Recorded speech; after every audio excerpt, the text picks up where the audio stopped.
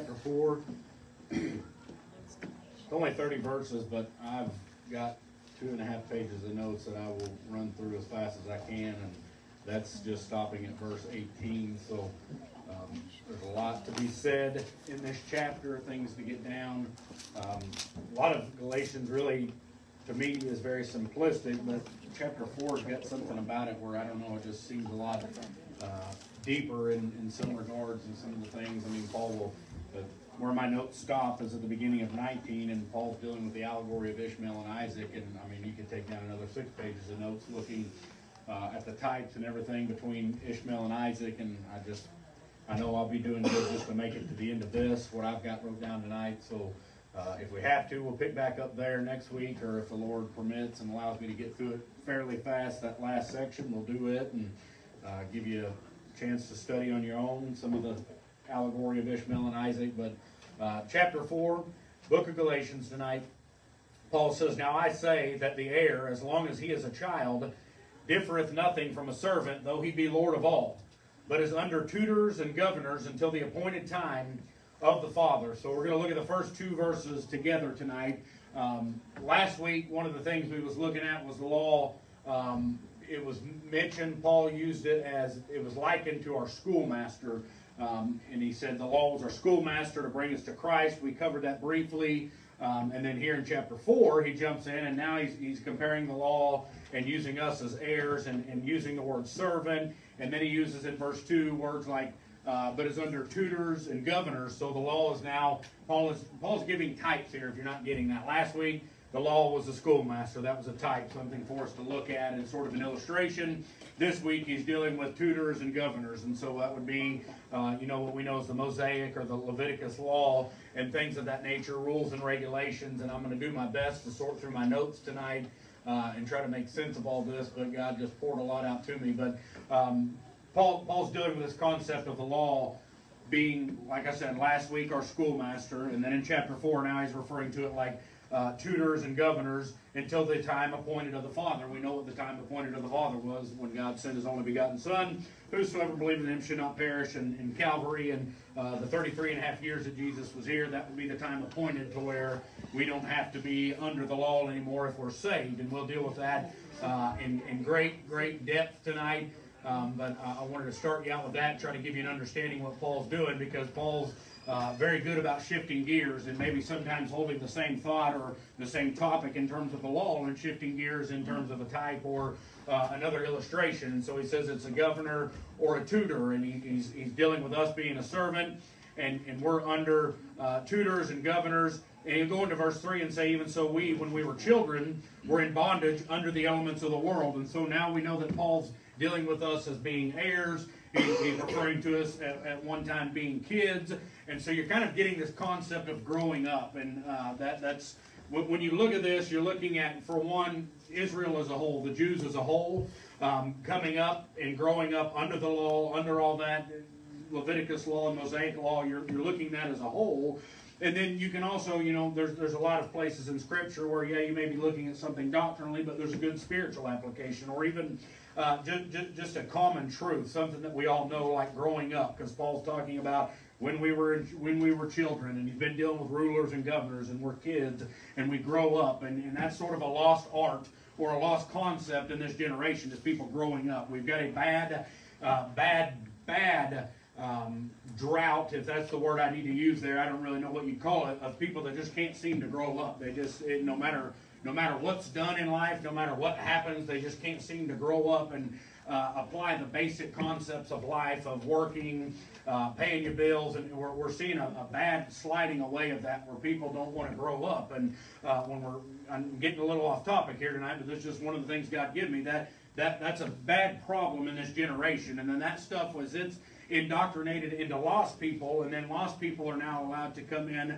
and, and affect the church in, in the ways of the neo neo evangelical churches and modernistic churches and all that, and letting them sort of bring their ideology and, and, and their roots and, and background in terms of how the church now has shifted and the way the church functions and the way the church acts and the way it operates. Now you see that even among believers. They don't want to grow up in the Lord. They don't want to do anything for God. They, they want to stay on the milk their whole life. If they're even eating much milk, they don't want to grow in the Word. They don't want to study. They don't want to be active. They don't want to be. I mean, it's just a problem all across the board, inside and outside of the church. And uh, you know, you, you, hear all these people today. Well, I just I don't like my job. Yeah, I mean that that's part of life. You're not going to like your job every day, but you've got to do it in order to survive. Now, I mean, I could go off on some political jazz there, and most probably bore most of you to death. But uh, it's a known fact that our government has tried to make it so people can live off the government. That way, they have the control, and that's where I'm going to leave that at. But us individually tonight as believers is where I want to shift gears and go with this about growing up in the Lord and wanting to study and wanting to pray and grow closer to God and, and, and find whatever it is He's called us to do and, and, and try to do that and be faithful to that and do whatever we can to, to, to execute whatever God gives us to do, whether it be handing out tracts, whether it be witnessing, whether it be anything, we should be willing to do that. But you are in an age and in a generation where people don't want to grow up. It's all fun and games, and if I feel like it, and if I don't feel like it, then I leave it alone. If I don't feel like it, I won't do it. If I feel like it, I may do it. And that that's not. We, we got to be careful with that attitude. It's it's very easy mindset. I mean, I struggle with that just like anybody else. Of I don't feel like it, or I'm not really up to it, or I just I'd rather be doing something. That that's kind of the way we've indoctrinated the youth over the last several years, and now you've seen that begin to creep up, and now we're in the generation that was indoctrinated like that, that has now become adults, and, and it just, as you know, every age ends in apostasy, and, and that's the way it goes. It always ends in apostasy, every age, and that's where we're headed. I mean, we're just, we're, we're slowly headed to our demise. I mean, this, this age, I believe, scripturally, prophetically, we are headed for the end of all ages where we will be raptured out of here. And you say, I don't believe that. Well, I don't know what to tell you other than study your Bible, but I'm just telling you we got a bad problem in this generation with people wanting to grow up, even in the lost and dying world and inside the church. And uh, I'm not talking about kidding and joke. I'm not. I'm talking about just growing in the Lord and in His Word and studying, like the Bible says, study to show thyself approved, a workman that needeth not to be ashamed. It's time to grow up, and it's time to, to, to, to chase after the things of the Lord. Seek after wisdom, like Solomon told us in Proverbs several times, and even some over in the book of Ecclesiastes, and uh, I mean, just everything we read in the New Testament about seeking after God, rightly dividing the word of truth, studying to show ourselves approved. I know I went over that Sunday night, um, and I, I don't aim to get hung up here again because I really got a lot of notes to cover.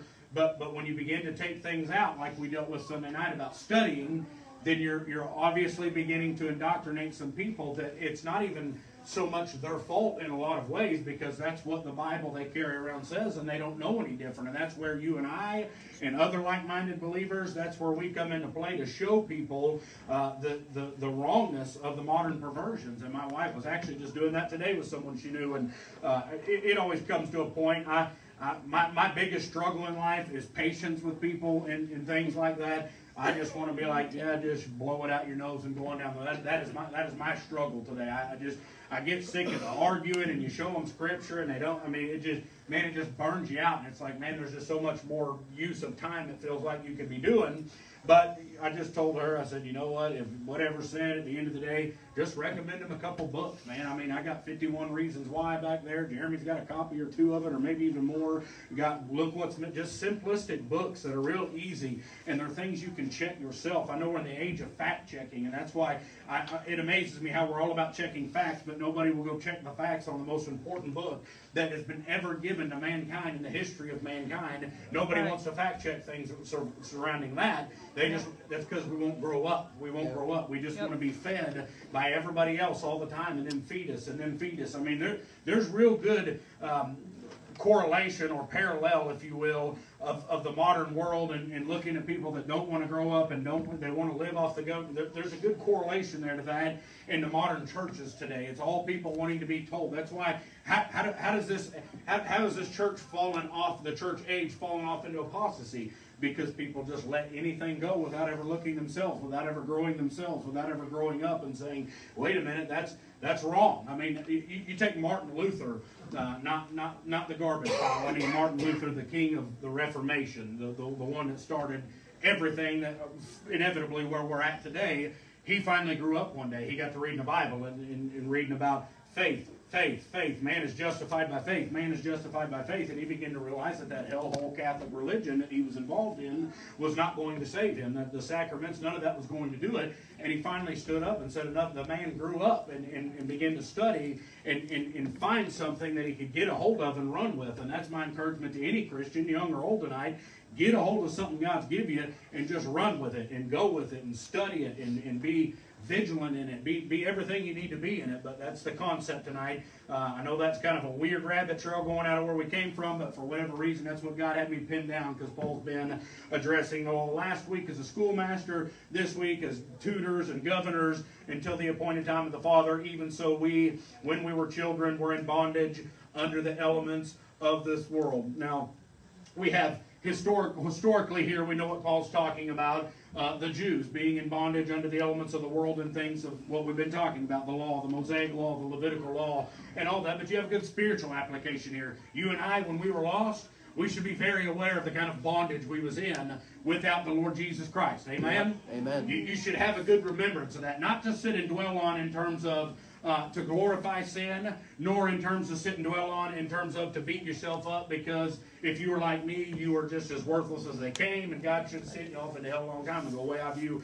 myself when I was lost, I'm not talking about dwelling in that aspect. I'm talking about you should be able to look back and say, Glory to God, that's what He delivered me from. That's what He saved me from. That's what He brought me out of. Here's where He's put me now, and I'm glad. I'm sanctified. I'm saved. I'm set apart. I'm redeemed. I'm, I'm seeing all that stuff the Bible did. That you, you, you got to have a correlation there. We, we talked about that here a while back about a, uh, that that contact point of when you got saved and being able to look at your past and your old life and say, yeah, I'm not that way anymore. Yeah, I may still make a mistake. I may still mess up. I may lose my temper. I may, you know, say something I shouldn't or, or, or do something I shouldn't.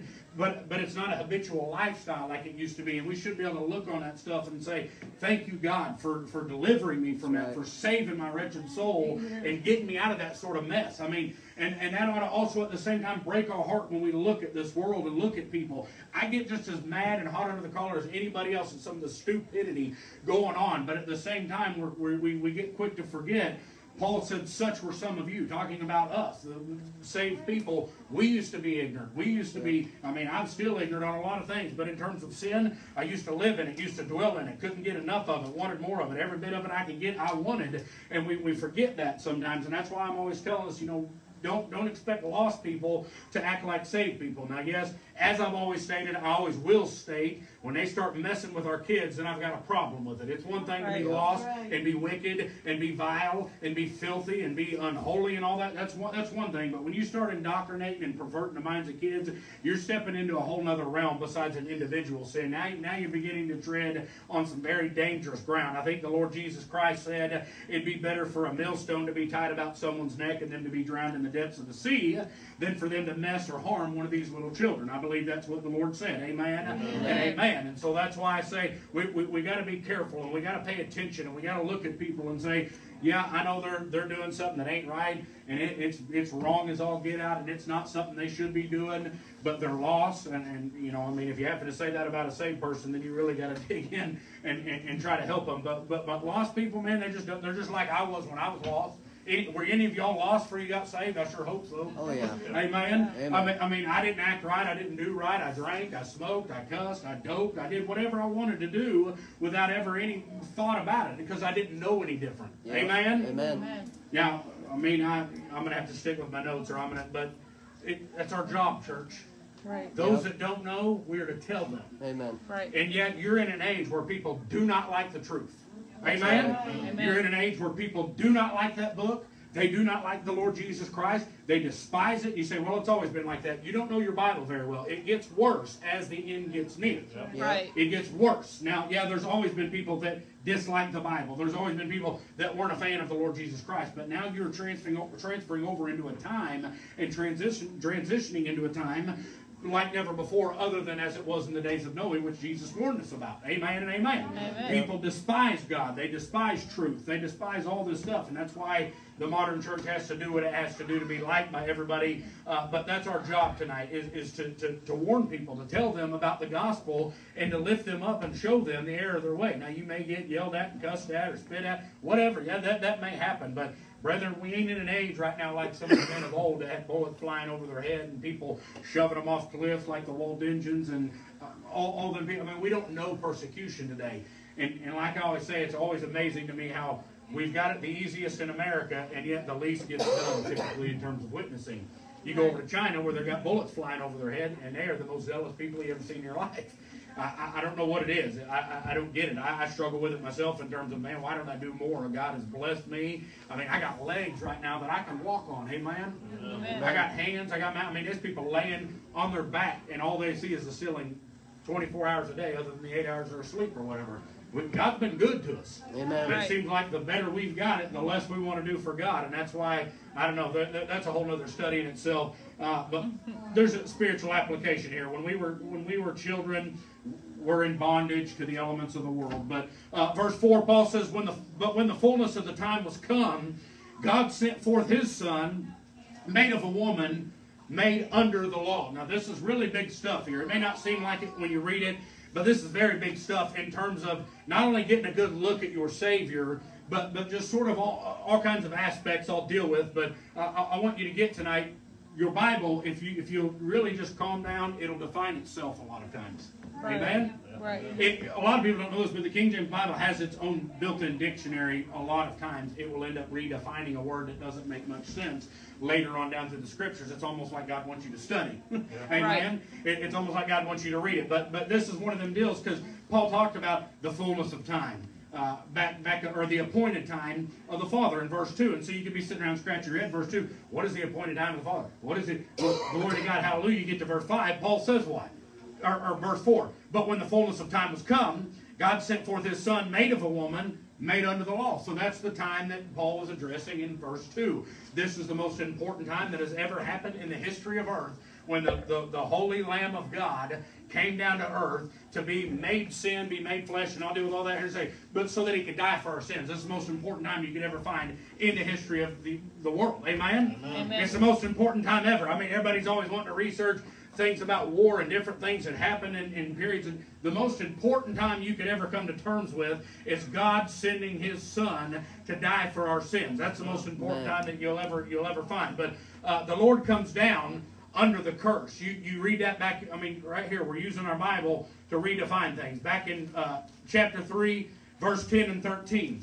Uh, Paul says in verse 10, For as many as of the works of the law are under the curse, for it is written, Cursed is everyone that continueth not in all things which are written in the book of the law to do them. Verse 13, Christ hath redeemed us from the curse of the law, being made a curse for us, for it is written, Cursed is everyone that hangeth on a tree. I mean, you've got some major self defining going on with the scriptures here when you approach verse 4. Fullness of time has come. God sent forth his son, made of a woman, made under the law. You go back into chapter 3, you begin to see that, that Christ was made a curse, because curse is everyone that hangeth on a tree. I mean, I, I, there's so many, so much depth we can go here, but I'm trying to cover as much as I can. Uh, he, he, he, took the servant or the slave's place in, in the yoke of bondage. I mean, he really did. Verse 4, the fullness of time has come. God sent it for this son, made of a woman, made under the law. That is Christ literally coming, and, and we'll deal with this a little bit further here. Literally coming to take our place for something that we had been in bondage to for years. You say, well, I wasn't in bondage to it. Well, when you were born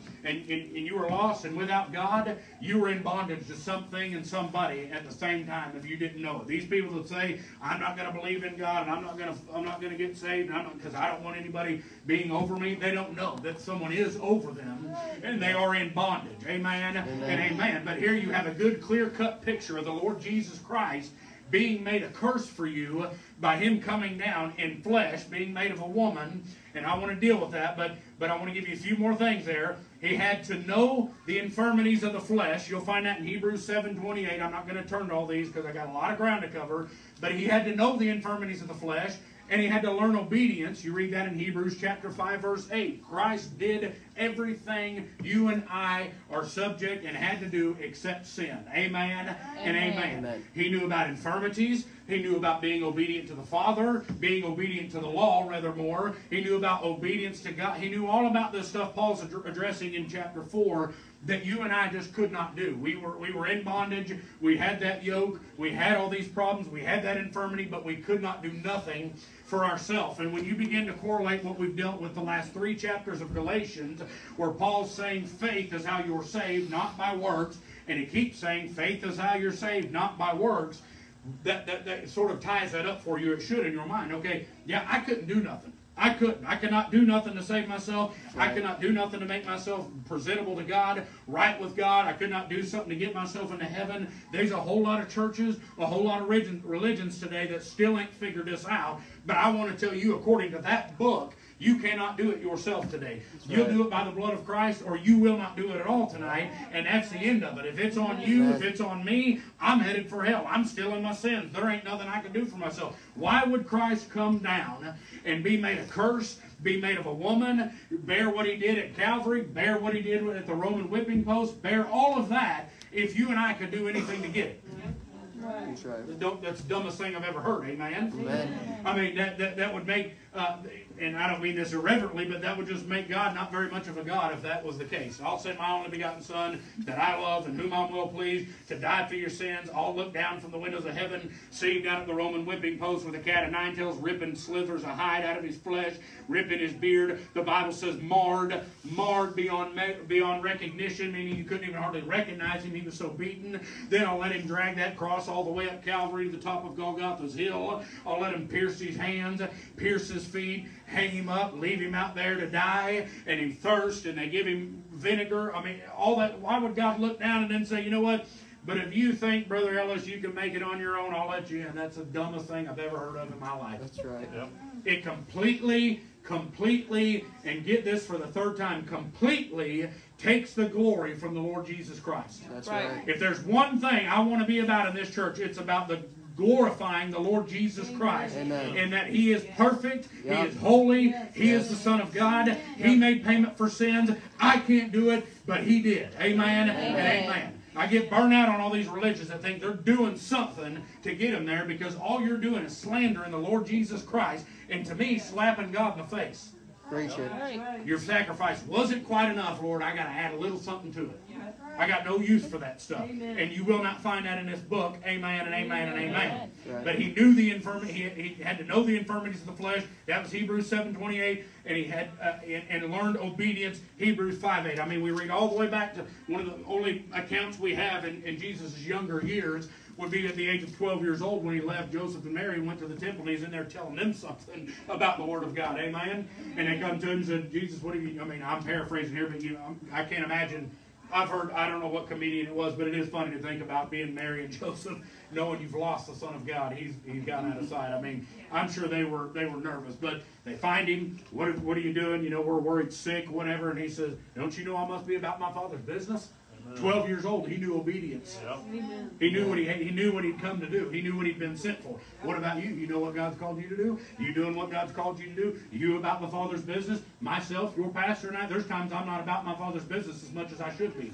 Does that help you admit that you're not either? Amen. There's times we're not, but I'm using this to encourage us tonight, get us going tonight, and lift us up a little. Uh, verse four or five. Look here. What? Okay. Why was he? Why was he made of a woman, made under the law? Your Bible defining itself to redeem them that were under the law, that we might receive the adoption of sons. So yeah, we're dealing with Jews that are under the law. I'm, I'm aware of that. But you can also spiritually apply this stuff to us tonight who are Gentiles who never knew anything about the Mosaic or the Levitical law and, and understand that you, you were in bondage when you were lost. No matter how much you try to argue that, you were in bondage to someone and something or some things. Yep. You were in bondage. Amen and amen. Why, why did he do all that? Verse 5, and he tells us he, he came to redeem them that were under the law that we might receive the adoption of sons. Now, uh, I, I, read this earlier and I, I copied this down. This, this, was good. He wasn't merely made of a woman, like I said. That wasn't it. He wasn't just made of a woman. He was also made flesh. If you look over there in the book of John, that I've had Nikki make that deal and stick up on the window, it says he was he became flesh and dwelt among us. He was made flesh. Amen and amen. He was made to be sin. We read that in 2 Corinthians 5.21. He was made to be a curse in Galatians 3.13. We just read that. He was made a living spirit. We read that in 1 Corinthians 15.45 several weeks ago. He was made, he made us made unto us righteousness and sanctification and redemption. He wasn't just made of a woman. Yeah, Paul's given us a couple things here that are something he was made of, but I wanted to give you those after I read that for some encouragement. He was made a whole lot of things for us. Amen, Amen. and amen. You're talking about a, a, a, a God part of the Trinity, who knew no sin, who was without guile, who was spotless, sinless, perfect, glorified, everything you could ever expect to be of a God come down here, made of a woman, became sin, all that stuff for you. Amen? Amen. For you. I mean, we, we Christians, we forget that sometimes. For you. Yep. For me. You do that for me, Lord? I mean, all these other people, they got to go around screaming a bunch of jihad stuff and blow themselves up for their God. You got a God that loves you so much, he came down and died for you. Right. Amen. Left his throne in glory to die for your sins. Right. Amen and amen. I mean, y'all, ain't- y'all ain't getting it tonight, I don't think. He died for you tonight. Right. To redeem you. Yep. That, that- that's where we begin to forget stuff. He died to redeem you because you couldn't redeem yourself. He right. died to save you from your sin because you couldn't save yourself tonight. Amen and amen. You would be hell-bound, without hope, without God tonight, lost and dying alone in this world if He had not come down here and died for you. Right. We forget that stuff, but we, we, we need to remember that stuff. We need to say, Lord, thank you. Verse 5, to redeem that them that were under the law, that we might receive the adoption of sons. Uh, verse 6, he says, And because ye are sons, God has sent forth the Spirit. That Spirit is capital S in your Bible. When you see a capital S Spirit, I tell you this all the time, that's in reference to the Holy Ghost. amen and amen. Sent forth the Spirit of His Son into your hearts, crying, Abba, Father. So, I, I don't know about you, but I begin to read and see all the stuff that, that the Lord did for me, and that's the most exciting thing I can think about in my life. Amen. I'm, thank, I'm thankful for the day I got married. I'm thankful for the day that my, my children were born. I'm thankful for all that stuff. But the day I got born, Right. amen, Amen. I think about the Lord, and I ain't got to go to hell when I die, and I'm on my way to glory, and my wife's on her way to glory, and I got one kid on her way to glory, and another Amen. one that's on the brink of getting on his way to glory. I, that, that, that to me, there's nothing better tonight.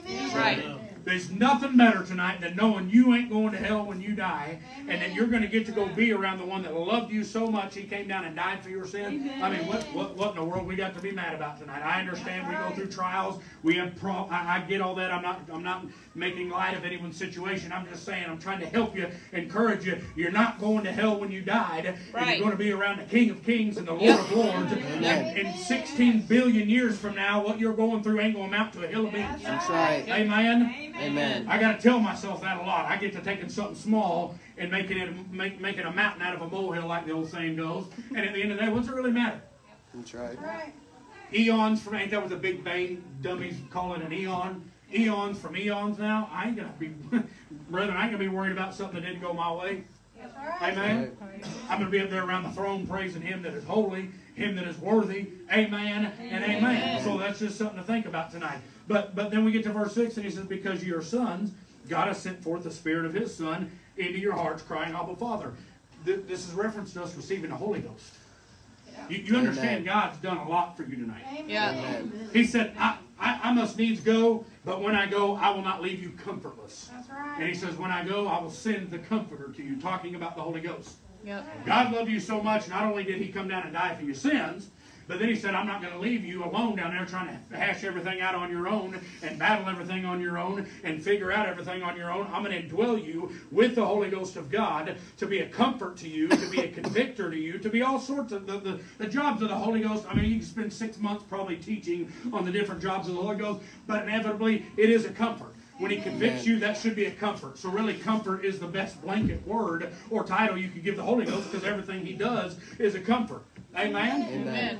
You, you know why people don't read their Bible and interpret it right? Because they don't let the Holy Ghost of God give it to them. That's right. They interpret it with their own self and what they want and their own will and their own way. But when God gives you something, brethren, and makes sense out of something you couldn't figure out, that's a comfort. That's And right. then when you get convicted over something and you get it on the altar and you get it right, and God begins to take that away from you and you're free and clear of it, that's a comfort. Amen. It's, it's all every. I mean, it's just the best name that could be given to the Holy Ghost would be the Comforter in terms of something to help us understand one of his, his main job. But because we are God's tonight, we now have the Holy Ghost. Yep. One thing you learn in your Bible, because this is a big deal, and most people don't even know it or overlook it. One thing you learn in your Bible that separates us from men of old in the Old Testament before Jesus' sacrifice and before the day of Pentecost when the Comforter was sent was nobody ever got indwelt with the Holy Ghost all the time like we do. That's right. It would come on them for a little bit and it would come off of them. Amen? Is that Bible?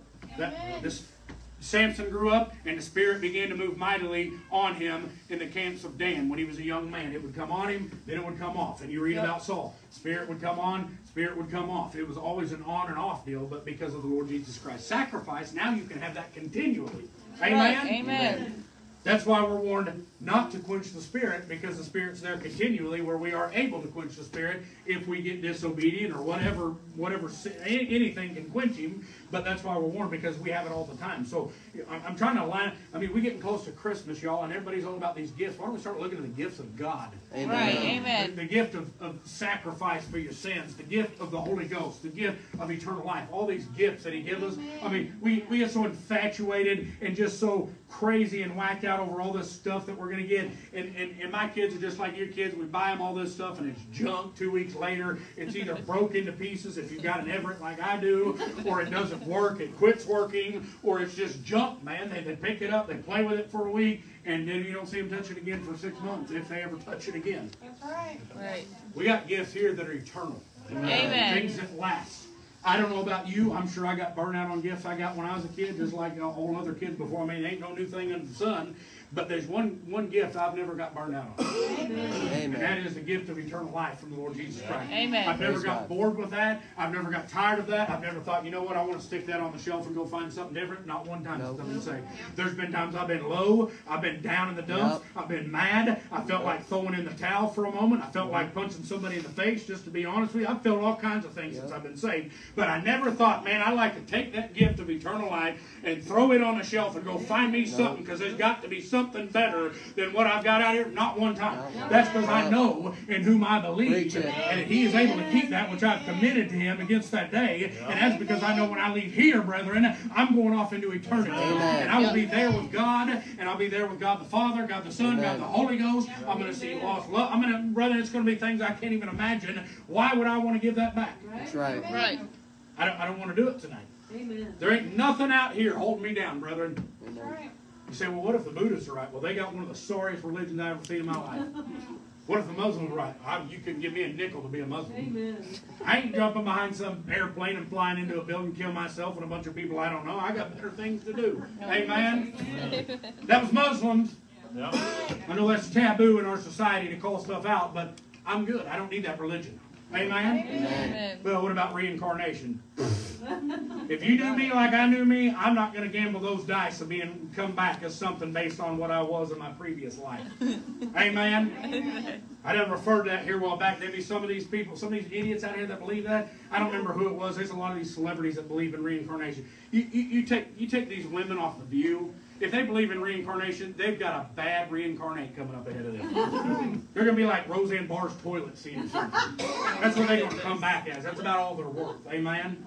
So you mean awfully mean? No, they need to get saved. They do. But they're a poison and a pollution to people. Right. And it's time to it's time to get right, brethren. It's time to call it out. And here's the deal: you couldn't give me a nickel to go try any other religion. That's right. You said, what about those people? What is God really going to send these people to hell that don't believe when they were raised this way? That's why we have missionaries.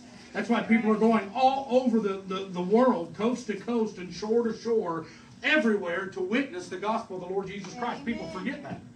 Amen? Amen. Why is that? I mean, have you ever ran into a Buddhist missionary? Ain't that strange to you? I never thought about this until just now, honestly. You, you don't run, I mean, if they do, I don't know about it, but I've never, I mean, you run into JWs and Mormons and all them. That's a whole other subject for another time. But, but you don't really run into Muslim missionaries. No. They don't come over here to America and try to convert us that I'm aware of. They ain't never beat on me. I hope one of them never beats on my door. That'd be one scary outfit there, brethren. But nevertheless, I'm just telling you tonight, God's been good to us. God came down and was made flesh. God came down and died for our sins, and it wasn't enough for him. He said, you know what, on top of that, I'm going to give you the Holy Ghost. Amen. Right. I'm going to give you the comforter to help you and guide you and direct you and convict you and strengthen you and help you tonight. Amen. Amen. Amen. And you couldn't give me nothing to go try something else. I've, I've studied a lot of those other things. It ain't nothing you want to go down. But if you, I mean, it's America. Amen. More power to you. I think the, the phrase they used to say, Uh, but I'm good tonight. I know in whom I believe, and I love Him, and I'm satisfied, and I'm thankful tonight. I'm forever thankful. I don't always live up to it like I should. I ain't the best I can be all the time. I ain't the greatest. I ain't this. I ain't that. But I love Him, and He saved me, and I'm going to heaven when I die, and I ain't worried about none of this other mess down here other than trying to rip some lost souls out with, with us to bring with us. Amen. Amen. Amen. amen. I don't even know where I left off there. Uh, verse 7, I think.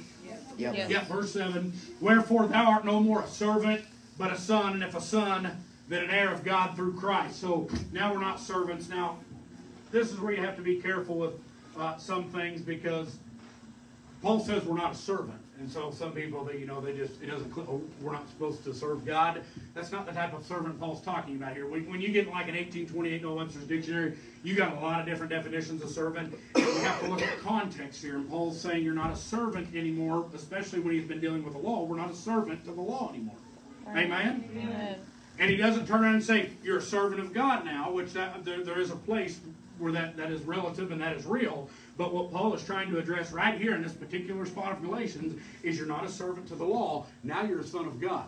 Right. Amen? Amen. We are servants. We do serve God. We should want to serve God, but that's why you got to be careful and say, "Oh, well, Paul's saying we're not servants, so that means we ain't." No, that's not what he's saying at all. He's talking about being a servant of the law, and you're no longer a servant anymore. Now you are a son of God. Amen and amen. Amen.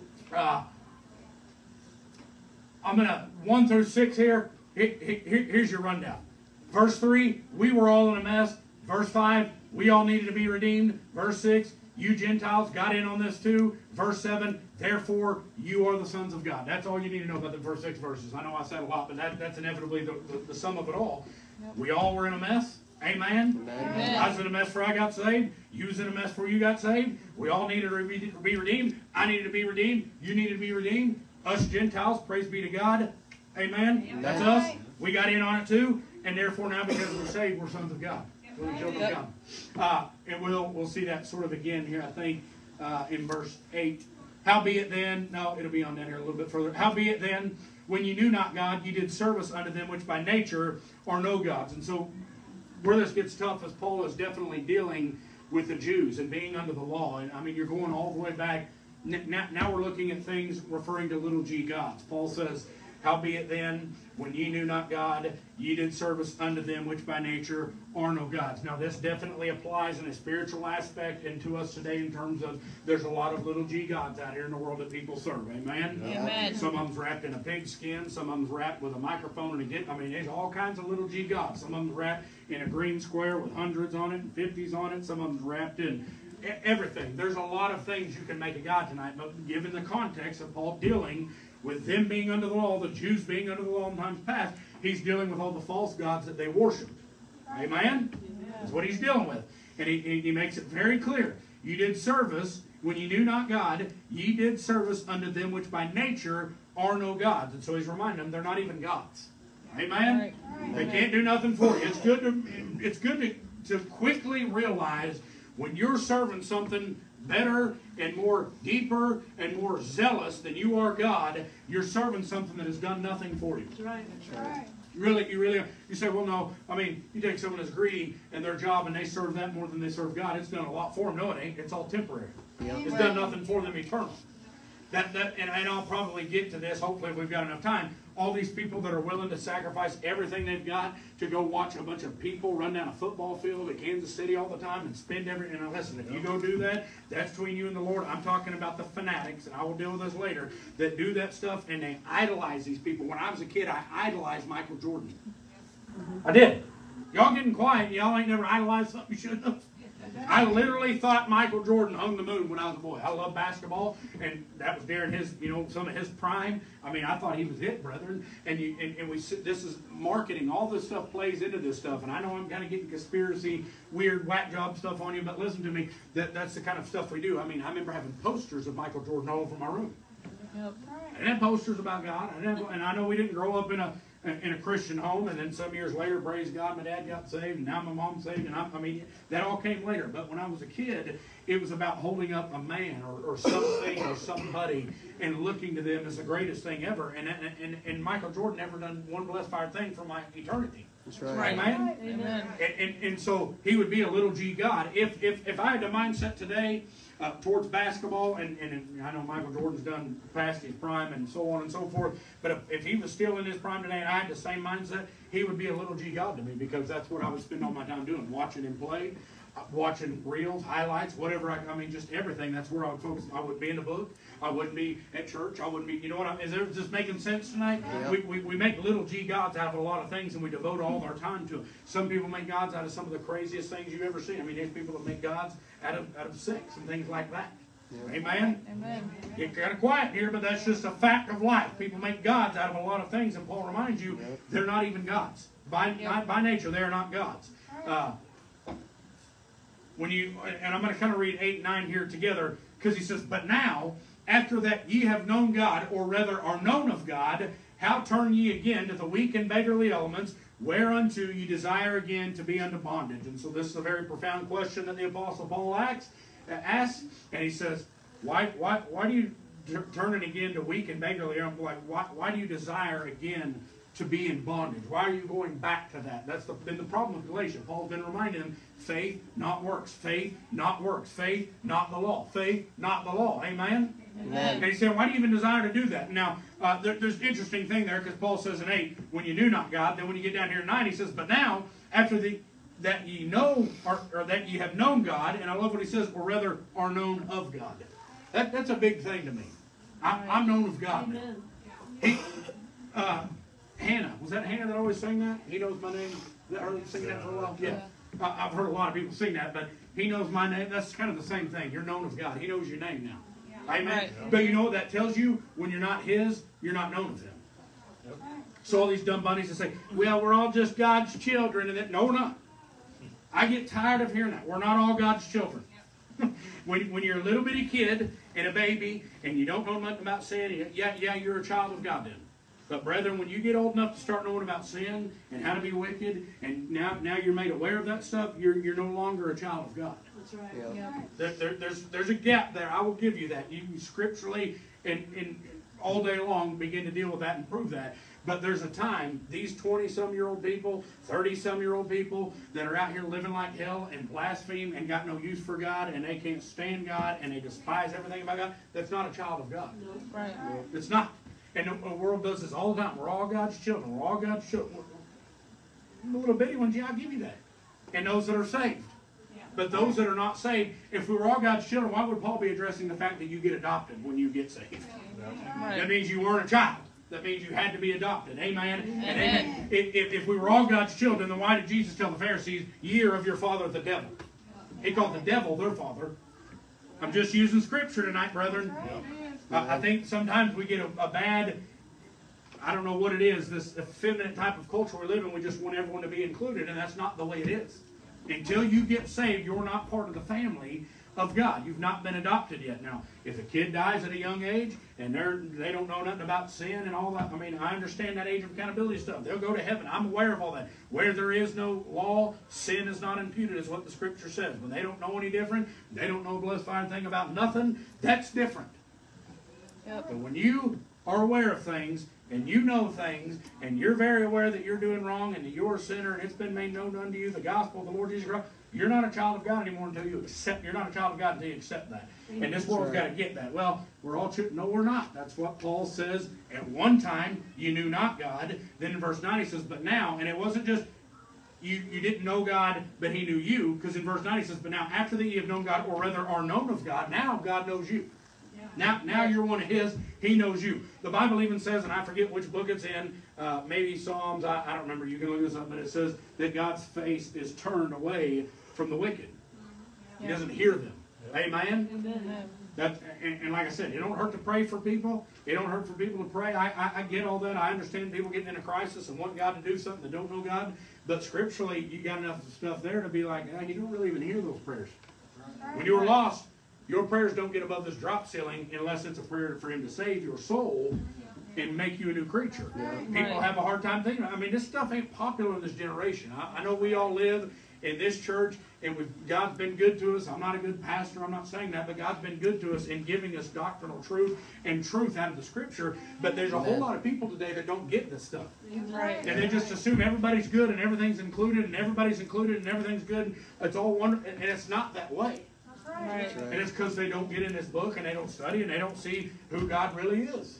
Yep. God loved you, died for you, gave himself for you, all that stuff, and he will have something to say if you do not accept that at judgment day. Right. It's not I mean so much stuff. I just I'm trying, brethren. I'm really trying tonight. But but there's a lot of stuff here. Um, and then verse 8 also he's dealing with false gods. You know, I just I, I- I want to because Israel was bad about worshiping false gods. Amen. They were. Every time uh, you get in like judges and kings and all that stuff, every time you get a king, he'd tear down all the high places and all the places they burn incense and all that stuff you read about, the, the places of worship, the groves, places, places where they worship false gods. Now, I could get real wacky on some of y'all. I don't know if y'all are ready for it or not, but I'm just going to tell you this. Paul could be referencing all the way back to the book of Genesis, back in chapter 6. Anybody ever study Genesis chapter 6? Yeah, It's weird. yeah, But I'm telling you this right now. There were little g gods here at one point. yeah. yeah. Devil, demonic things. Amen? Amen. That's like aliens. I used to be so, so against the con. Now let me finish this before you get up and walk out. I used to be so against the concept of aliens, and I'm still against the concept of life on other planets, like we talk about. But here's what I do know: there's some weird things of some demonic spirits that have passed through here, and things that are going on, and that's a fact tonight uh-huh. Yep. and you can stud. th- This book will go a whole lot deeper than most people ever want, more than I even wanted to go with it until I finally just said, you know what? I've got to, I've got to, I've got to clear everything out of my mind here and just see what God's word says. I hear somebody say something, I'm like, nah, I'm just going to discard that. I don't want to think about that. I don't even want to pretend. I don't even want to entertain that. And then I go read the Bible and go begin to study these things. And yeah, yeah, well, that's kind of a hard one to explain. Has no one in here ever studied Genesis six or uh, like like the pyramids? Nobody ever studied the pyramids? You know what they teach? Uh, I don't I don't know all the definite things about the pyramids, but they teach that there was a civilization of people that built those. Yeah, the giants. You think humans built those pyramids? Nope. Some of y'all out here thinking your pastor's done lost his mind. you should go study the pyramids. I mean, in depth. And if you don't even want to really study, I can give you a movie on the pyramids and be enough just to make you chase a rabbit for six years. There's, there's weird, there's demonic things that go on outside of this realm around us tonight. Amen. Amen. And I'm telling you right now, I could be wrong. I ain't got scripture to prove this. This is just Shayne making a, a, a wild, wild guess. But when the rapture comes, I begin looking at things like, well, how God's going to send a strong delusion and people believe a lie. What is our nation so indoctrinated with all the time now? Aliens, Aliens, yeah. space, sci-fi, things of that nature. I'm just telling you, it's going to get weird at some point. But I'd encourage you, go study Genesis chapter 6. I mean, really study it with an open mind. That's what I had to do. I'm a narrow minded bigot, so I have to sometimes really tear the walls down and say, I want to know what thus says the Word of God, even if it trumps everything I've ever thought or any preconceived notion I ever had. I just want to, I want to do it. I mean, I've even got a little book back there. What's that book called, Jeremy? Something about UFOs or something? I can't even remember the name of it. Something about UFOs. It's just a little bitty book. It won't take you no time to read. I mean, very thought provoking, and every bit of it is backed up and lined up with Scripture. And you say, well, yeah, even bad people. Uh, I know. I'm aware. I'm telling you to go study. But Paul's dealing with the concept of false gods. You ever wonder who all them Jews were worshiping and kept false? Where, where, do people get these false gods from? Do they just conjure them up in their head, or was there actually some demonic things going on back in Genesis chapter six? Some false gods that were actually physically around here doing things, uh, and and you can't you can't disprove what I'm saying right now. And you have to read Genesis chapter 6, and, and there were some weird things going on, and things that I fully don't understand, but there was some real wacky things going on. So I'm just telling you, it'd be, be fun for you sometime to go study it and see what you think. You I mean, it ain't a big deal. It ain't heaven or hell type uh, doctrine here, but just something fun to go and, and check out. Uh, verse 10, he said, You observe days and months and times and years. I'm afraid of you, lest I bestowed upon you, you labor in vain. So, uh, I mean, I, I just wrote the question. We know of any uh, religions today that observe days and times and months and years? Yeah, there's a there's a few hundred or better. I mean, there's a lot of people that do that, observe days and times and years. But, uh, unveiling of UFOs. Unveiling of UFOs. I know. I think I've got a copy of it back there. They may all be gone, but it's a real good book, real interesting. But there's days, times, and years. Paul is Paul's dealing with this concept. Quit trying to go back into bondage. Amen. Amen. Next week in, in chapter five, we'll, Paul will really lay the hammer down on something. But but but that is inevitably what you see through the course of Galatians. At some point or another, Paul says, "Look, quit trying to go back what God got you out of." And what God saved you from. Quit doing it. It ain't going to save you, and it ain't going to help you tonight. It's just going to make it worse, and that's what he's telling. And he says, I'm afraid of you, lest I bestowed upon you labor in vain. He's saying, I don't want to do all this stuff in vain, man. Y'all get in, y'all get serious, serve God by faith, and don't expect that to save you. Don't go, keep going back to the law. Don't be trying to circumcise everybody. I mean, that's been one of the topics we've dealt with. And Paul's like, enough's enough. Uh, let's jump into 12. And that was what I wrote for 11. You want to go back to rules and regulations tonight? Eat your heart out. I got bad news for you. You can't do it. You want to go back and live in law, Levitical law? You want to go back and try to think you've worked your way into heaven? You're good enough, and you're a good enough person that God has to has to let you into heaven. All you want to go back to that? Eat your heart out, brethren. I wouldn't recommend it because you can't do it, and you're only going to put a yoke on you and a burden on you that you can't bear, and you're going to find yourself in worse shape. Only when we realize it's Him and Him alone are we really something that God can work with. Amen, Amen. and amen. When we get in our own selves and think we're doing something, we, we, we're just in the way, in my opinion. Uh, but verse 12, Brethren, I beseech you, be as I am, for I am as ye are.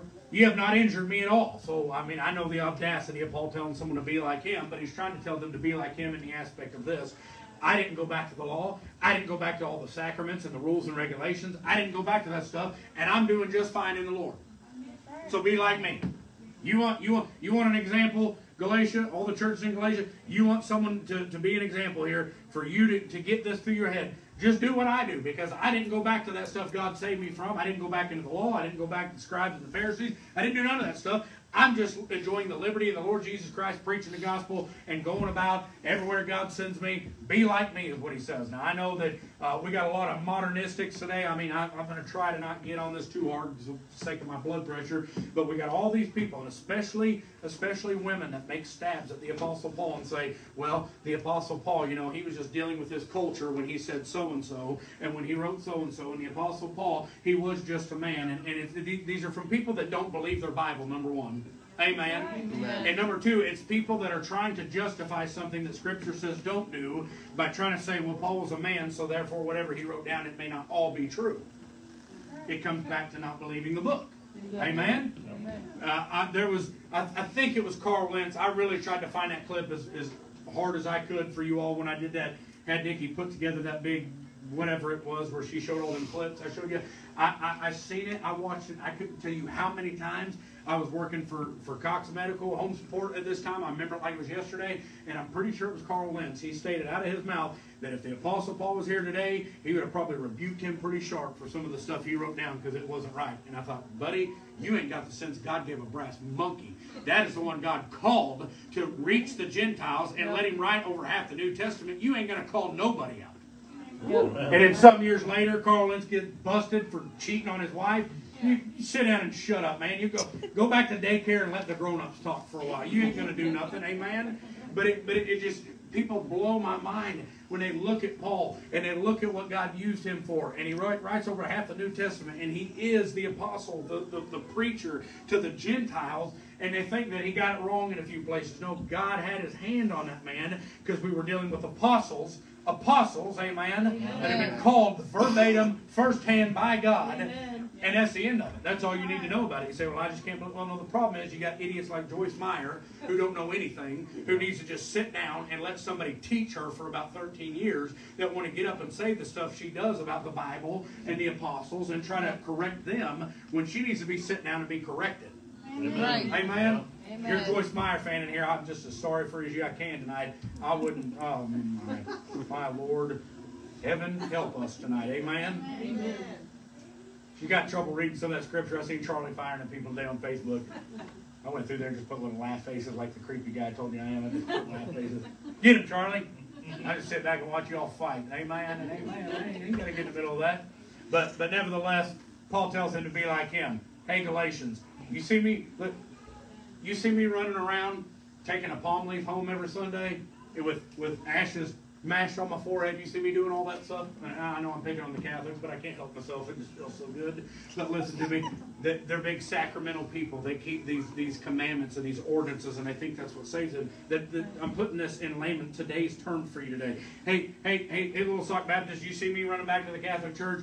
putting ashes on the forehead and taking the palm leaf home and, and, and kissing the Pope's ring and taking of communion when it turns into when it does its transubstantiation and it becomes the literal blood and body of the Lord Jesus Christ. And I go, and brethren, I can't help myself, but I go in that little box and there with Father Fondle and he forgives my sins and it's just so good. You see me running back to all that stuff? now I think I'll rest in the Lord Jesus Christ tonight. Amen. That that stuff ain't going to save you, and God help these Catholics. I hope they get saved. My problems with the higher ups, a lot of the laymen, the, the, the lower end people that just sit in it, they, they aren't aware because people won't tell them. Right. Right. And it may upset people, but I'm going to tell people from this pulpit. And if I meet them in person, I'm going to tell them. I mean, me and Tim got to corner a priest one day right in front of the cab office. The greatest day of my saved life. greatest day I ever had. He come. I don't even know what he's doing walking through there like that. I nudged him. I said, "Hey, here we go. Yeah, Let, let's go have a talk with him." And I just, I was nice, man. I just asked questions, and I'd say, "So you think this?" And you think, and you could tell it was starting to kind of frustrate him. It's like, man, you, you don't even really know why you believe what you believe. You have just been indoctrinated to think that if you do good and you're nice and you confess your sins to a man, to a man, the Pope is a man. Yep. He's not the vicar of Christ like they call themselves. He's a man. And you think because you confess to these people and you take the palm leaf home and you smear these stupid ashes out of the fire pit, you probably roasted hot dogs in the week before on your forehead, and you take of this bread and this, this wine that you think is transubstantiated into the blood and body of the Lord, Jesus, just because you think you do all that, you're getting into heaven, that ain't going to get you into heaven. Right. You'll get in by his blood Yep. and his sacrifice at Calvary, and you putting your faith and trust in that, and or you ain't getting in. Right. You, the Catholics are very, very. I, I don't want to say pretty, but everything they do has just got this rhythm to it, Yep. and it really looks good to an unknowing eye from the outside. It looks very, very presentable to the eye. It's all in order, and that- I mean, you ain't got kids like ours running around here 900 mile an hour screaming and whipping each other in the head with something. It ain't like that. It's very formal, and it's. I mean, but I'm brethren, I couldn't stay awake through that. I went to mass one time when I was a kid, and I can testify I didn't stay awake. I, I fell asleep. Most boring thing I've ever been in my life. But it looks very pretty to the eye. But all of it is a bunch of hogwash blasphemy Yep. that is going to send people to hell. That's the sad part. Because we got people that are always looking. If it looks good, if it feels good, if it makes me feel good, it ain't about that. Amen. Amen. Amen. I better hurry. I, I'm, how bad is it? Y'all can vote me out if you got to. I, I try. I do my best. Uh, man, we're gonna leave it off there. Thirteen. 13. Ye know how through infirmity of the flesh I preached the gospel unto you at first. Look, I'm going to go real fast here for a few verses. And my temptation, what- which was in my flesh, ye despised not, nor rejected, but received me as an angel of God, even as Christ Jesus. Uh, we'll stop there. Paul's dealing with his infirmity in his flesh, and he says it's a temptation. It was like, see, the Apostle Paul was tempted to sin. When you start looking back at Corinthians, and Paul said he had a thorn in his flesh, amen and amen, and he said he besought the Lord thrice, which means three times, to remove that thorn, and God said, no, but my grace is sufficient for thee. In thy weakness, my strength is made strong, I believe what it says, amen. Paul is dealing with this same infirmity over here in Galatians. And he'll he'll give us some inclination as to what it probably was. There's a lot of people that take different stabs at this, but I think it's hard to ignore what he says here in Galatians. But Paul's not dealing with a, a, a want to sin, an infirmity of I want to go sin, and you guys received me and we all enjoyed it and laughed about it. He's dealing with a physical infirmity that is causing a temptation, and I've got something wrote down about that here. Uh, but Paul says, listen, I showed up, y'all y'all received me as as even as if, I was Christ Jesus, you ought to see me. And he says, Where's then uh, this blessedness you spake of? For I bear you record. Here you go. That if it had been possible, you would have plucked out your own eyes and had given them to me. Now, now maybe you have a little inclination what Paul's infirmity of the flesh was. Why do they want to pull out their eyes and give them to him, preacher? Well, he just got done talking about he had an infirmity in his flesh. And over there in Corinthians, he said that he had besought the Lord three times to take that from him, and the Lord told him no. Seems to me like he had something bad wrong with his eyes. Right. I mean, that, that would just be my guess. I, I, I know Paul doesn't say verbatim, hey, I, I don't forget the word they call it. It's op, OP something that they try to say that Paul had. Uh, and, and I've always, always, always wondered in the back of my mind if it wasn't from that bright shining light at Damascus that inevitably caused that, because that to me would just be the perfect sovereign grace of God saving the man like that and telling Ananias he's going to suffer all these things for my name, and the very thing that saved him was something that he had problems with in the latter end of his life. And the problem he had at the latter end of his life, he besought the Lord three times to take it, and God turns around and teaches him and says, "No, my grace is." I mean, it just to me, it's just a perfect circle. I can't prove that, but to me, it's rather amazing to think about. But he says, "Listen, y'all would have plucked your eyes out, and you'd have given uh, given them to me." Uh, yeah, I think I've really skipped a lot of notes, which some of y'all are probably going to amen that, but it is what it is. Uh, verse 15, where's his blessedness? Yeah, I, I read that. Verse 16, Tina told me I to listen. Am I therefore become your enemy because I tell you the truth? Now, that's a big verse. See, I'm almost to the end because I've only got notes here to 19, so we're about done here. Uh, am I your enemy because I tell you the truth? And that, that's, a, that's a good question for anybody. If, if, if Ellis comes up and tells me something that's true and yeah, it hurts a little, is he now my enemy for that? You shouldn't be. That's the, that's the age we live in. Right. Preacher gets up and lays a hammer down on sin and somebody gets mad and they think, that preacher's my enemy. They don't say that, but I don't like him. I, I got no use for him. He's hateful. I've had people say, it's just like you're following me around every, you ain't got, come on, get some brains. I'm not following you around everywhere you go, peeking at you, wondering what it is. You, I ain't got time to do all that. That's the Holy Ghost of God that goes through a man when he's preaching, and he just lays everything on everybody, and that's the end of it. He gets on me same way he does you. Amen and amen. Amen. But no one is your enemy because they're telling you the truth tonight. Yep. When someone tells you the truth, as bad as it may hurt, and I understand there's times there's some preachers that tell the truth, but they're very, very hateful and rude and prideful. I mean, we've seen it, we've experienced it, I've been around it, you know it, I know it, everybody knows it. But at the end of the day, if it's truth, that still doesn't make them your enemy. That's right. Right. They may be jacked up and all whacked out and stupid and arrogant and all that. Yeah, I, I agree that, that that's a whole other problem. But inevitably, the truth does not, it never becomes your enemy in that sense. Amen? That means even if Charlie despises me, but he says the obvious, hey Shayne, I think you're a little fat. He's not my enemy because of that. He's just telling me the truth. But we live in a generation that hates truth. Yep. That's right. I went over this Sunday night. They hate truth. Amen? Amen. They don't like this book because this book will not leave them alone. It calls them out. It shows them what they are. People cannot stand that tonight. Amen? Amen. This goes on all platforms, all realms, every spectrum. People hate truth tonight. That's right. That's why we buy into evolution. That's why we buy into Big Big Bang. That's why we buy into the Chinese virus. That's why we buy into mask and all these things. That's why we buy into that because we hate truth. Right. Nobody will research anything for themselves and say, is what I'm being told truth? Right. We look at 70,000, 150,000, 250 million, 6 billion, whatever the number is, they're all doing it. I need to do it too. Right. That's why people get into false religions. That's why people get into actual cults like Jim Jones. That's why people carry around false Bibles. That's why people fell for all the stuff the government tells us all the time, 24 hours a day. They believe it to be truth. Yep. And they're all liars. I got bad news for you. The Bible says every man is a liar. Yep. That goes for you, your grandma, your aunt, your uncle, and your kids tonight. They're liars. Yep. Say, not my kids. Well, uh, borrow mine for a couple of weeks. They will lie to you. Amen? They will lie to you. And if you're, here I am again being political. I know God forbid a preacher have a political opinion. But if you're willing to believe the government cares about you, you got, you need to be in a, a psych ward or something. Right. There's something mentally wrong with you if you believe the government actually cares about you. That goes for both sides. Yep. Amen? Now, there's one side I'm going to lean towards, but I don't trust them any further than I can throw them. Right. Because it seems like as time goes on, my wallet gets thinner and thinner, and theirs gets bigger and bigger no matter who's in there. So that's where you got to just, what do I do, preacher? I don't know what to do. Right here.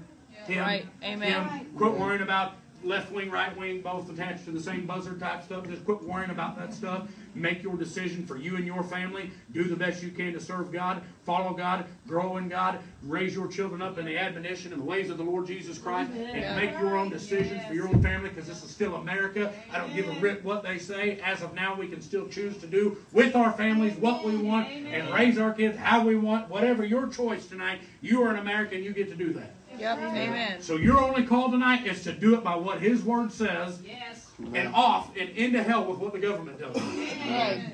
Because they ain't interested in growing you closer to God. I got bad news for you. They're not interested in that. Right. You might have one politician here and there, very few and far between, that actually believe this book. I couldn't tell you anymore. I don't pay enough attention. It doesn't matter to me. I'm glory bound with the hammer down, and I ain't worried about Trump or Biden or anybody to get me there. And it's obvious if you was relying on the one we got now to get you there, you trip and stumble and fall 40 times if you ever got there. I'd rather go on the one who can get me there safe and sound without a bump or a bruise. Amen? Amen. Imagine Biden riding you to heaven on a bicycle. that, that don't get no better than that. I better shut up or somebody's gonna get their feelings hurt or mad at me, I'm sure. Hope we're all in good company tonight. But I'm sorry, they're idiots. Christ is Lord and He is perfect and infallible and holy and righteous. And that's who I'm leaning on tonight, and that's who I'm trusting in. Amen Amen. and amen. I love this nation, but if we don't stop it, it's going to be in ruins. Yep. I, personally, I, I, I hate saying this stuff because I feel like people just think you're anti-American, but I think America's already in ruins. Right. I, I, I really do. I, I love our freedom. I'm so thankful for those that died and shed blood so we can have it. But let me tell you something. I got no use for these people that want to trample on the blood of soldiers and spit in their face for the stuff they was willing to lay down their life for so they could have the freedom to do that stuff. I got no use Right. for it. America's in ruins. Yep. We've kicked God out. We've kicked the book out. You know what's left? Keep their promises on what they gave, would say they, they would get, they would get for serving those countries. Nope. You don't even want to know, Miss Kay, what I'd do if I was president. Y'all probably vote me out of here as pastor real quick. It wouldn't be good. you good. have to deal with it day after day, and it's just, you know, I don't, it just, I'll just shut up. Because it makes me mad when I, when you have to look at your husband and have to go through things and jump through hoops to get the care that he needs. Right. Yep. Don't forget you work for the government. Yeah.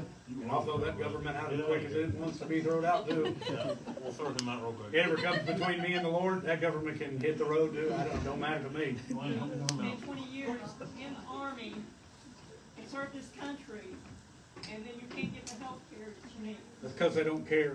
Yeah, that's, that's like I mean, that ought to be enough to tell you. If they don't care about the ones that even fought to give them the freedom they got now, what makes you think they care about you? Right. Just, it's just common sense. Now, I'm sure there are some, don't twist my words, I'm sure there's some people that start out with good intentions and want to make a change. I'm not saying they're all that way, but I'm telling you, as a whole, it's done. Right. It's done. If, if, if God is not going to be the center of it, and God, it, it's done. If, if for you as a Christian, now if you're just like the world and you live like the world and act like the world and try to be a Christian chameleon, which isn't possible, and blend in and do everything the world does, then it probably ain't going to affect you much. But Right. if you're a Bible believing Christian, that time's winding down if you believe this book. You don't believe that? That's between you and the Lord. More power to you. Enjoy it. But like Brother Gary's favorite saying, we're from the government, we're here here to help. That's the scariest word you get to hear in your life. Right.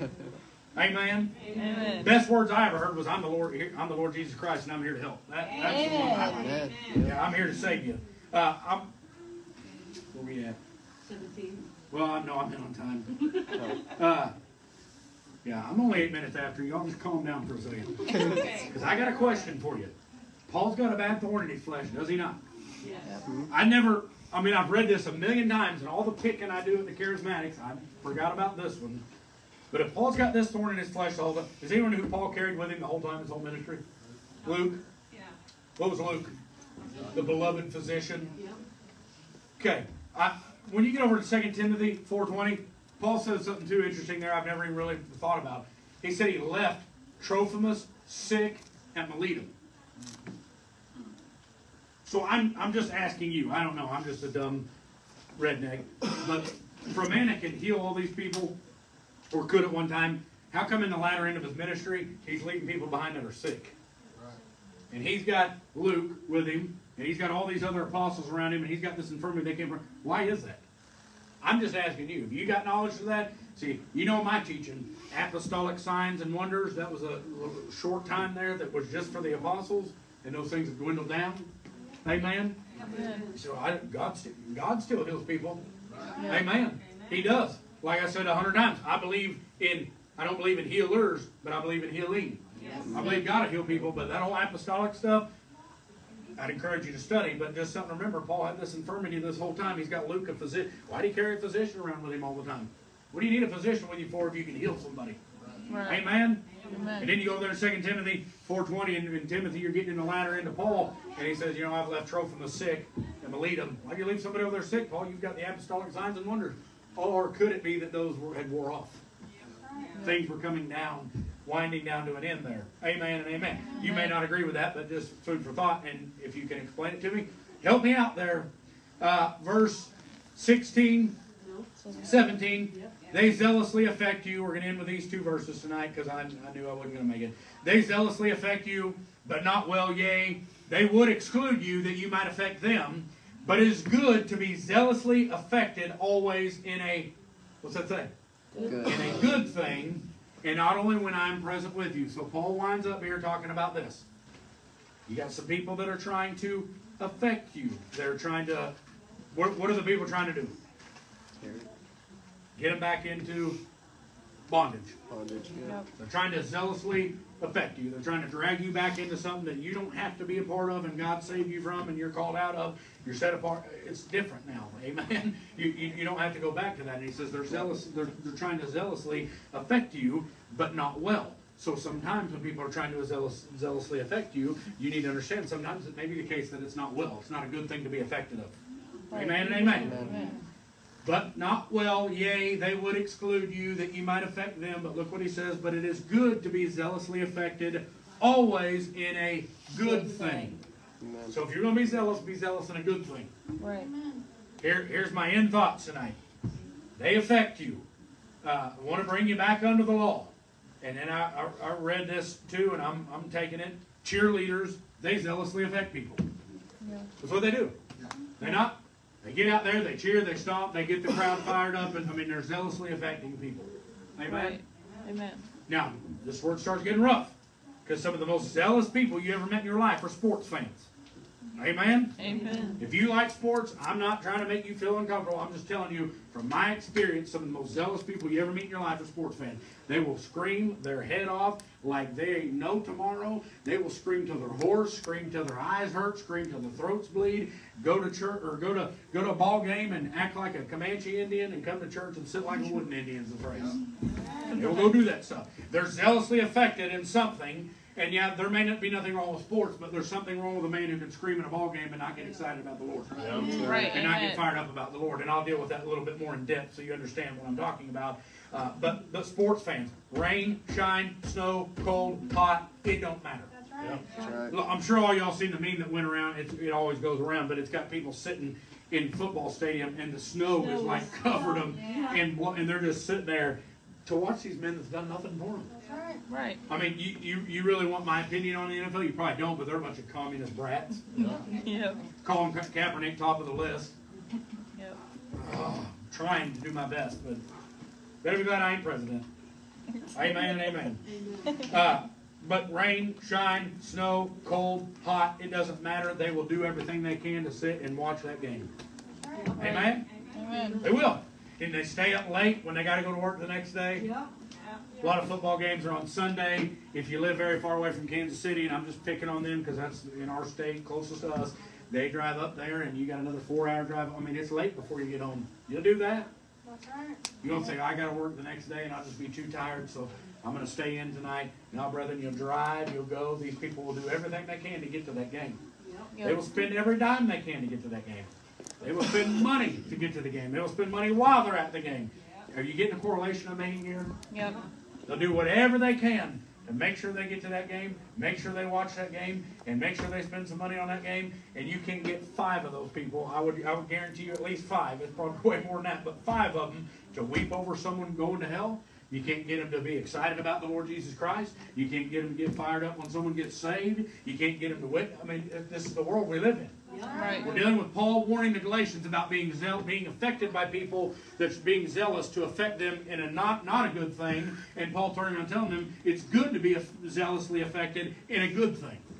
And I'm trying to I'm trying to show you the two. If you like to watch sports, I'm not condemning you. I'm not saying that. I'm giving you an illustration here by saying there are people out there that will do anything they can for a sports game and can give a flip less about God and the things of God. And that's a good, clear illustration tonight of being affected over a not so good thing versus being not being affected over something you should be affected because it's a good thing. Plain and simple. You want to watch football, watch it till you're blue in the face. It don't matter to me, but I'm saying if you can't get fired up about God, but you can scream and yell and holler at your TV, scream and holler and yell at people running on the field, slapping each other on the hind end, saying good game, surely to goodness, surely to goodness, we can get excited about the Lord Jesus Christ. Amen. Amen. Amen. You, you, you want me to pick on something different? Now, Price is right. Yeah. People scream their head off for winning a bunch of trash, a bunch of furniture that's going to break down. I just shared this here a while back. Lady screaming her mind and out of her mind and screaming her lungs out because she won a dishwasher. You and I know just as good as anybody else how long a dishwasher lasts in Polk County. What are you screaming about? Two weeks later, you're going to be ticked off because it ain't working. It's lined up and it's broken and it's trash. Amen and amen. Then you come to church and just sit there like you ain't got nothing to be excited about. Yeah. Supposed to be heaven bound with a hammer down. God ripped you out of hell. Yep. God saved your soul. Yep. God's working on you. Yep. He's dealing with you. He's doing all kinds of things, and you can't get excited about that. Amen. and Amen. Amen. Amen. I read another illustration where someone said some women could walk down to the dance hall and dance till 2 a.m. until they had blisters on their feet, but couldn't walk five blocks to the prayer meeting. About sums it up. Modern Christianity. Yep. always got something. Always got something more important to do. Always got something more important to do. Listen, brethren, it really don't make no matter to me one way or the other. But what I'm telling you is, is God's going to require to me. He's going to require of you. Yep. And the Bible says, redeem the time because the days are evil. We better start getting about God's business and we better start being serious about it. But at the end of the day, it boils down to this, brethren. You're saved by the blood of Christ or you ain't saved at all. You're not saved by Yep. works. You're not saved by keeping the law. You're not saved by doing good. That's not what gets you into heaven tonight. What gets you into heaven is what happened right there at Calvary at top of Amen. Golgotha's Hill a little over 2,000 years ago. And that is the Preach Son it. of God stretched out, dying for your sins. Your sins, not His. Right. Amen. I'll let y'all go on that one unless anybody's got something they want to say. I'll do my best to finish up next week that chapter and jump into five. I've done pulled to Jeremy, man. We're going to be. Here he's been in Ezekiel for 47 years, and the church has been around for 10 years. You explain that one to me. That's all right. But it's been good.